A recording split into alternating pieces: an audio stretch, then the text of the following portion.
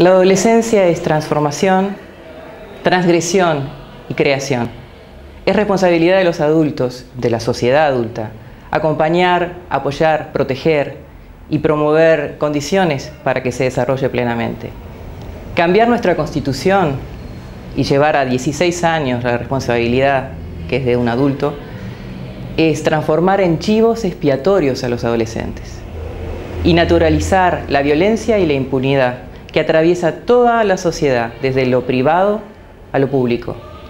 La coordinadora de psicólogos dice no a la baja. Soy Susana Ferrer, de la Mesa Ejecutiva.